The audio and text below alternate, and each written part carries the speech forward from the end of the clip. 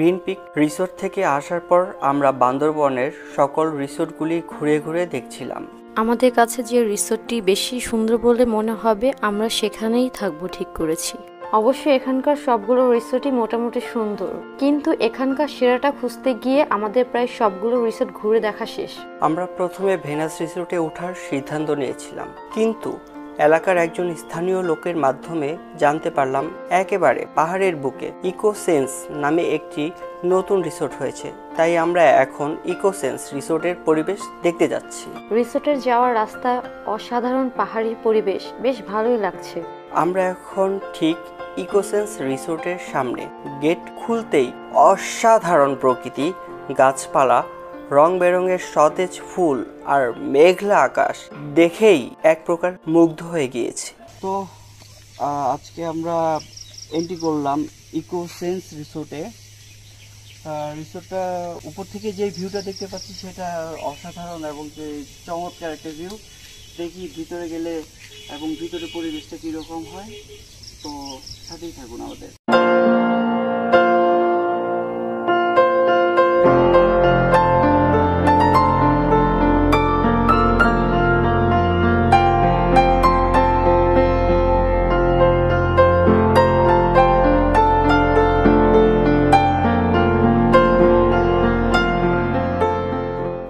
থেকে কটেজে যাওয়ার রাস্তাটি এতটাই বিপজ্জনক যে বাইকের চাকার সামান্য স্লিপ খেলেই নিশ্চিত মৃত্যু। কিন্তু তারপরেও এত সুন্দর পরিবেশ দেখে সাহস করে নিচে নেমেছি।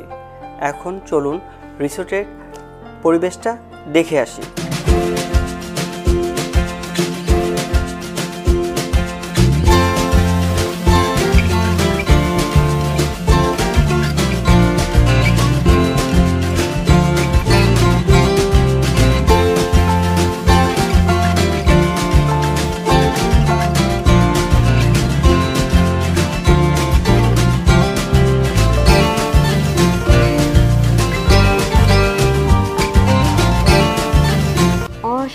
পরিবেশ। মনে হচ্ছে আমরা মেঘের উপর বানানো বাড়িতে রয়েছি।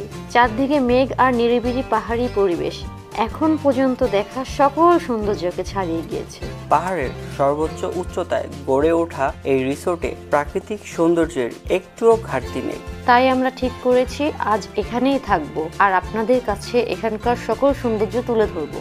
মূলত আমরা এই ডুপ্লেক্স ফ্যামিলি ভিলাটি নিয়েছি। তো চলুন এবার ভিলার ভিতরের পরিবেশটি দেখে আসি। কাঠ খড় আর শীতল পাটির সমন্বয়ে গঠিত এই ফ্যামিলি ভিলাটি সম্পূর্ণ শীততাপ নিয়ন্ত্রিত।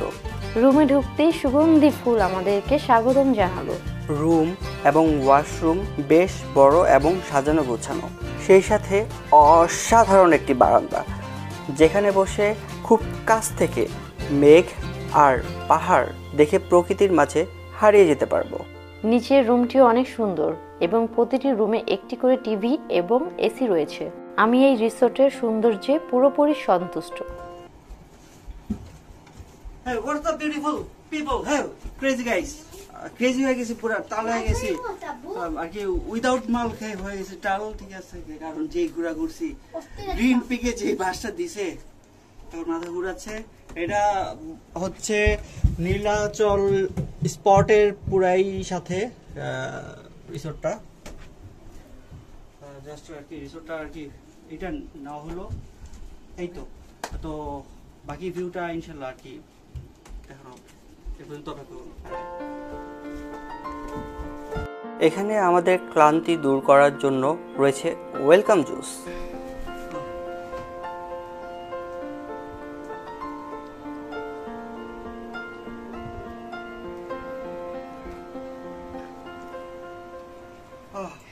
এইরকম ক্লান্তি অবস্থায় এই ড্রিঙ্কসটাই দরকার ছিল। সম্পূর্ণ ডিফারেন্ট তেঁতুলের।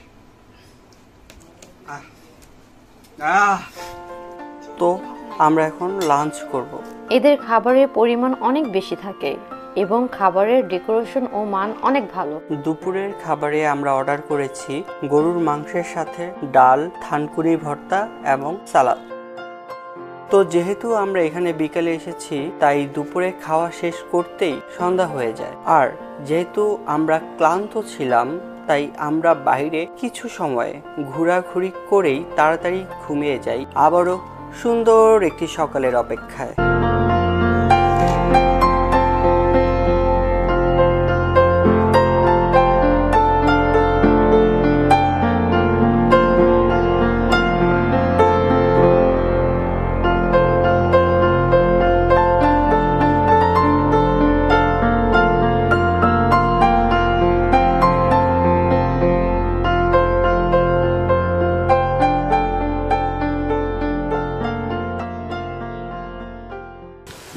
গাইস সবাই বান্দরবনে আসলে অ্যাকচুয়ালি ডিমান্ড করে সাইরু সাইরু সাইরু। সাইরুর থেকেও আরও ডিমান্ডেবল এবং সুন্দর যদি কোনো প্লেস থাকে, সেটা হচ্ছে আমাদের এই ecosense resort honestly to say that এটা খুবই চমৎকার একটা প্লেসের মধ্যে এবং কি খুবই চমৎকার একটা রিসোর্ট আমি এখন আমার রিসোর্টের বারান্দা ব্যালকনিতে বসে আছি। তো এইখানকার যে পরিবেশটা দেখতেই পাচ্ছেন, আমার মেঘ আমাকে ভিজে নিয়ে যাচ্ছে প্লাস হচ্ছে এখানকার যে পাখির কিচিরমিচির যে শব্দ এছাড়া প্রাকৃতিক যে সৌন্দর্য, আমার মনে হয় এখানে না আসলে আমি সেটা আর কি সম্পূর্ণ একটি ফিল কীরকম অদ্ভুত এক রকমের ফিল সেটা আমি আপনাদেরকে মুখে আর কি কখনো বোঝাতে পারব না। তো চলুন রিসোর্টের বাইরের পরিবেশটা দেখে আসি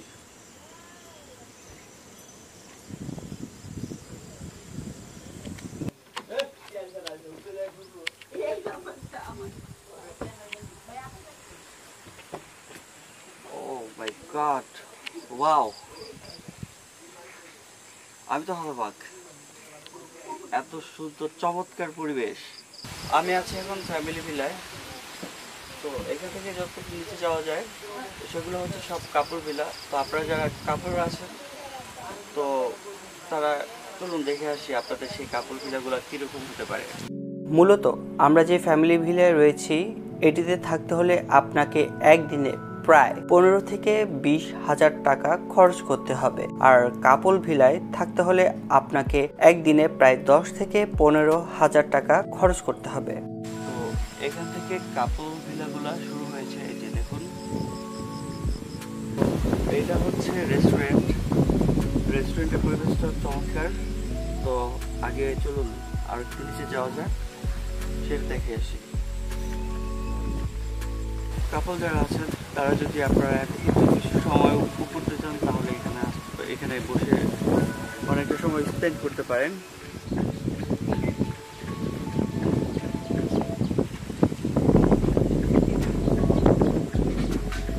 প্রকৃতির সৌন্দর্যকে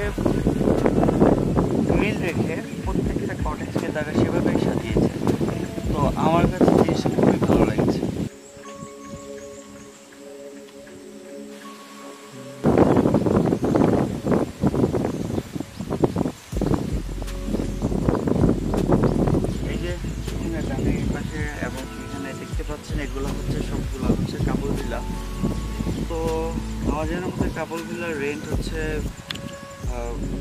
থাউজেন্ড প্লাস সামথিং এর থেকে একটু বেশি হতে পারে। আবার যদি অফার দিয়ে থাকে তাহলে একটু কম হতে পারে বাট কম হওয়ার সম্ভাবনাটা খুবই কম। বেশি হওয়ার সম্ভাবনাটা খুবই বেশি। আর আমরা যেটাতে ছিলাম ফ্যামিলি ভিলা আমাদের ফ্যামিলি ভিলার রেন্ট হচ্ছে এইটিন থাউজেন্ড দ্যাট মিনস আঠারো হাজার। তো আমাকে মূলত এখানে আমার কিছু পরিচিত লোক ছিল ওয়াই আমাকে কিছুটা অনার করা হয়েছে। তো এরই মধ্যে সকালের ব্রেকফাস্টটি চলে এসেছে। তো ব্রেকফাস্ট করেই আমরা চলে যাব নীলগিরির উদ্দেশ্যে। আজকের আবহাওয়া সম্পূর্ণ মেঘে ঢাকা। চারদিকে তাকালে মনে হচ্ছে আমরা মেঘের অনেক উপরে রয়েছি। আর ঠান্ডা বাতাসের সাথে মেঘের ভেজা কণা গায়ে এসে লাগছে। যদিও ক্ষুধার্থ পেট, কিন্তু এত সুন্দর প্রকৃতির মাঝে দোলনা পেয়ে একটু মেঘের মধ্যে উঠতে ইচ্ছে হলো। তো আমরা এখন ব্রেকফাস্ট করতে রিসোর্টের রেস্টুরেন্টে চলে আসলাম। যদিও আমার ওয়াইফের মুড খারাপ থাকার কারণে সে ব্রেকফাস্টে আসেনি। কিন্তু ক্ষুধার্ত পেটে এত সুন্দর পরিবেশ আর সাজানো গোছানো খাবার পেয়ে আর লোভ সামলাতে পারলাম না। আগে খাওয়া শেষ করব তারপর ওর রাগ ভাঙাতে যাব। অবশ্য রুমেই তার জন্য স্পেশালভাবে খাবার নিয়ে যাব। হিসেবে ছিল জুস কোক বানানা এবং কি ডাবের পানি। ফ্রুটস হিসেবে ছিল, খেজুর, কলা, আপেল আনারস যে বলছিল খুব মজা। মজা। দিচ্ছি আমি দিচ্ছি। আর হচ্ছে ডেজার্ট হিসেবে হচ্ছে শ্যামাই নাস্তা হিসেবে যেটা ছিল সেটা হচ্ছে পরোটা ডিম সবজি।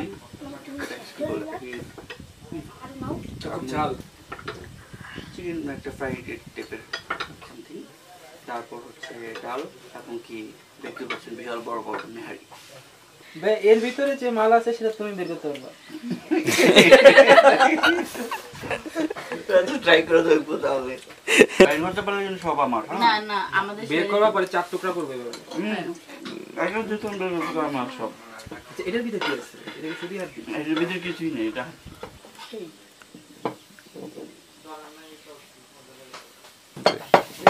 কড়াইয়ের মধ্যে। চাই চাই। থর যুদ্ধ করতে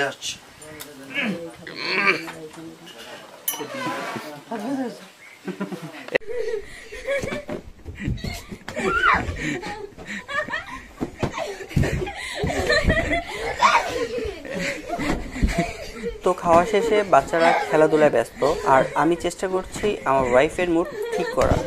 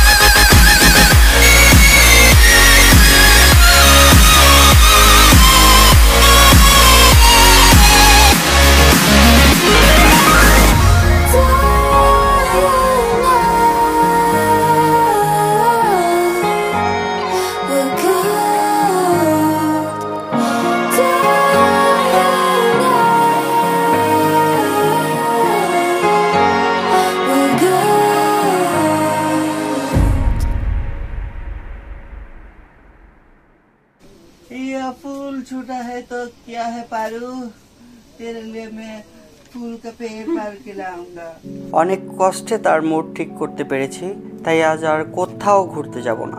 ঠিক করেছি সারাটা দিন তাকেই সময় দেব। তো এর মধ্যে আমাদের দুপুরে খাবারের সময় হয়ে গেল। এখানকার প্রতিটা খাবার অনেক সুস্বাদু। সকালে খেতে না এসে এক প্রকার লস করে ফেলেছি। তো খাওয়া শেষে শান্তাকে নিয়ে একটু রিসোর্টের বাইরে ঘুরলাম। You've been talking about patience, hoping for everlasting. You're known for talking crazy. I know it's infatuation. You know I feel inside. You know what is real, and I rock with your vibe. But I don't think that we should tie.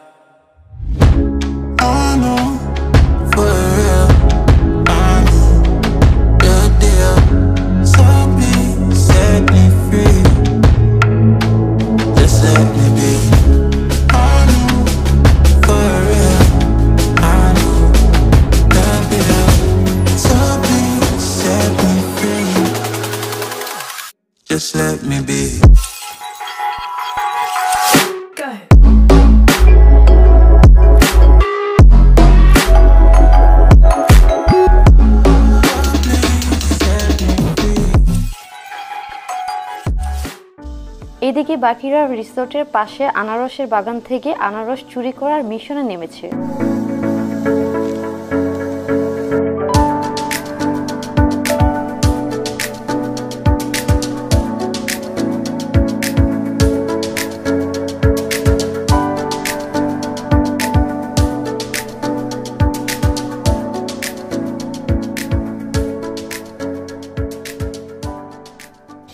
দেখেন কি এক অবস্থা। খেয়ে দেবো তো কাজ কাম নাই আনারস চুরি করে নিয়ে আসছে। কি আর করার? খেতে তো হবেই। এভাবেই আমরা আজকের পুরো দিনটি রিসোর্টেই কাটিয়ে দিলাম। প্ল্যান করেছি আগামীকাল আমরা বান্দরবনের দর্শনীয় স্থানগুলোতে ঘুরতে যাব। তাই আজ আর কিছুই করছি না। এখন লম্বা একটা বিশ্রাম নেব।